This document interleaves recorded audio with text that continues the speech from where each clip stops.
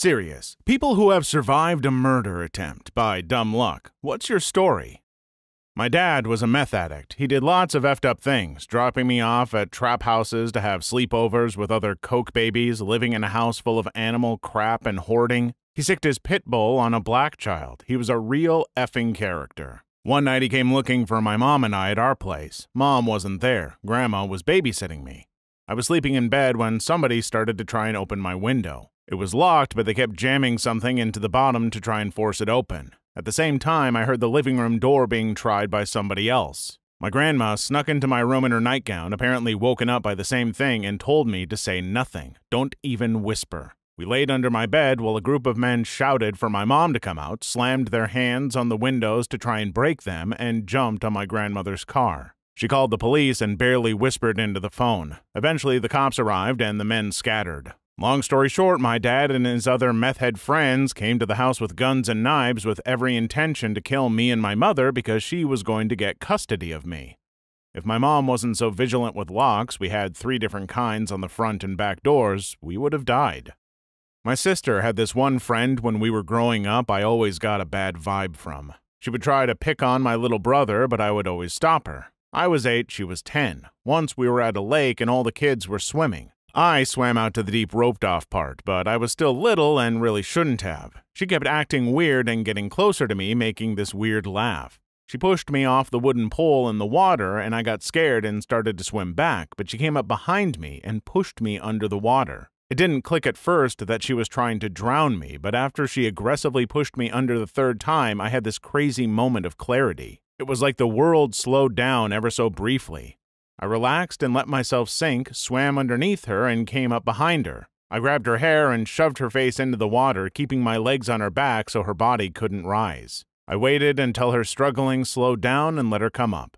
I waited in the water, saying nothing, bracing myself for her retaliation, but she just looked panicked and swam back to shore. I told my sister, who had already expressed that the girl was weird. We confronted her together, and she just looked really dazed. In a monotone voice, she said, I'm sorry, I didn't know it would be like that. It wasn't until I replayed those words in my mind later that I realized what she was saying was, Sorry I tried to drown you. It wasn't until I almost drowned myself that I realized how horrible it is to do to someone.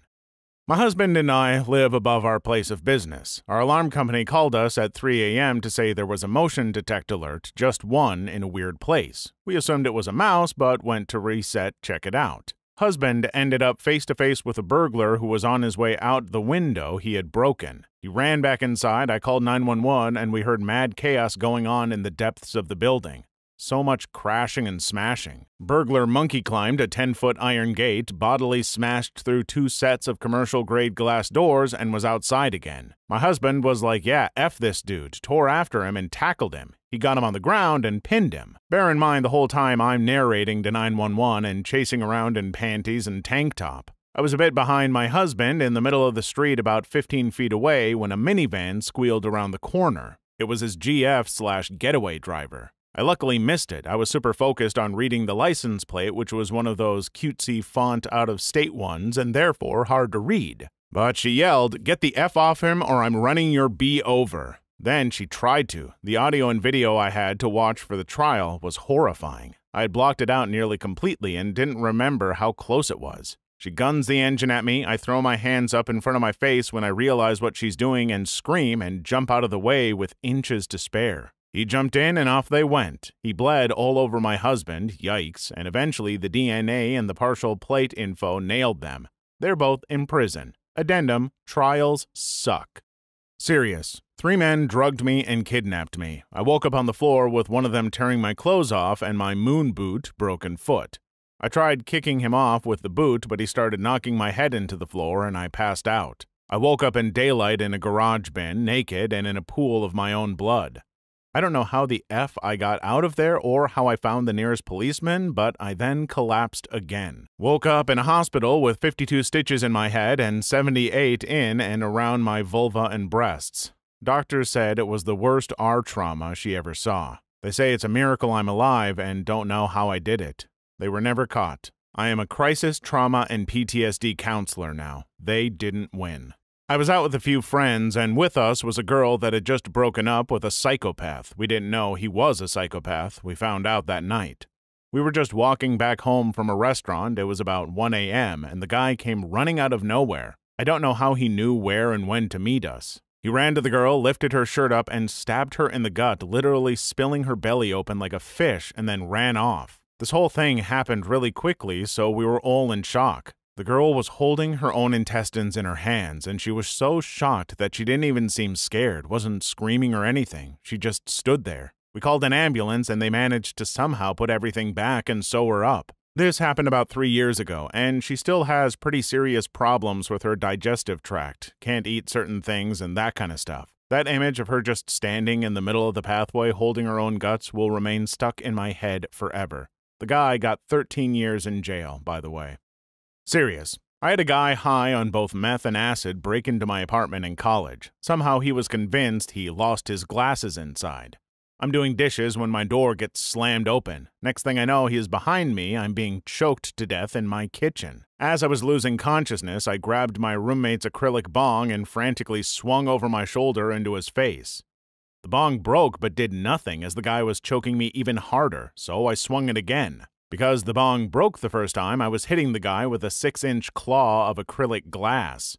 Afterward, his scalp and part of his cheek were hanging off the side of his face. Essentially, I scalped him with a bong. So I chased the guy out of my house. There is easily two feet of snow outside. He tries walking back to his house through a cemetery as a shortcut. Seriously. And he passes out in the cemetery.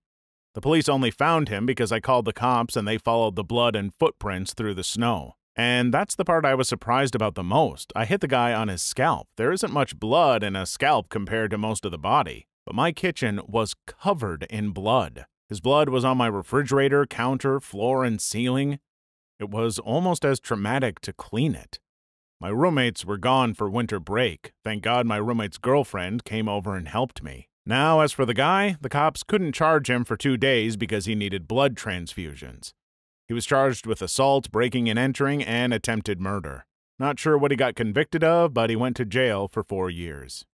I was exiting a bar once after last call and was with a friend who was a medic. We saw a girl laying in a snowbank near a telephone pole who had just been hit by a car. We ran over and tried to help her. Some others were already on the phone with 911, and I, not having any medical training, didn't have anything to contribute, but didn't want to just leave the whole situation was concerning. I turned around for a second and start to hear people screaming. I turn around and a minivan was heading for us, the few people around this woman. They already started to run, but I was too late.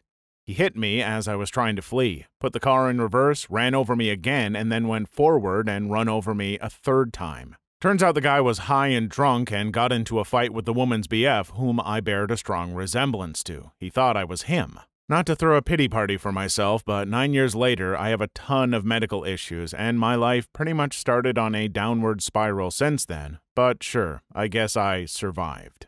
I was 15 and outside in my garage petting my cat. It was November, so it was already dark by 5 p.m. Someone opened the door behind me without me hearing, grabbed me by my ponytail, and started dragging me outside. They hit me on my head with a brick and knocked me out, pulled me halfway around my house when, I'm guessing this is when, they stabbed me on the left side of my stomach. This must have brought me out of my daze because my mom said she heard me scream from inside where she and my brother and sister were in the kitchen. They came out the front door and saw me bleeding out on the sidewalk, called 911 had 12 stitches, double layer, and a severe concussion and whiplash. Didn't eat and hardly slept for a week. They never found him. I got jumped by two grown men when I was a freshman in college. I was walking back from my friend's house and it was about 30 past midnight. One posed as a homeless man asking for a dollar, and the other had on a security jacket like he worked for the university's safety patrol. When I passed the homeless guy saying I had nothing to give him, I saw the security guy walking towards me. This is when I felt a rear neck choke hold and the security guy started wailing on me. I had my bag on me, but like I said, I literally had nothing on me. They couldn't take me down to the ground. Surprisingly, I must have had an adrenaline rush. The guy posing as a homeless guy said, Open the backpack, find anything, let's dip. This lasted about two to three minutes, but it felt like forever. The whole time I could feel something pointing in my back, but I just like to think that the guy was extremely excited and it wasn't a knife. Luckily, it was right outside my friend's house, and a couple of them came running out when they heard the commotion. The guys fled immediately when three of my friends came sprinting towards them. I still look behind me when I walk home alone. Please leave your story in the comments. I would love to make a video on them in the future. Also, don't forget to like and subscribe.